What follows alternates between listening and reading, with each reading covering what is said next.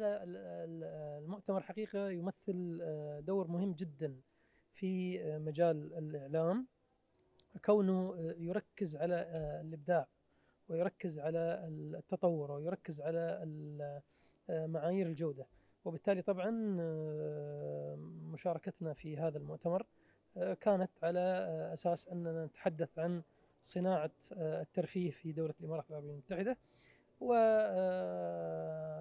يعني كان حقيقة لقاء آه، جميل جدا آه، شاركوا فيه الأخوة في هذا اللقاء المتميز.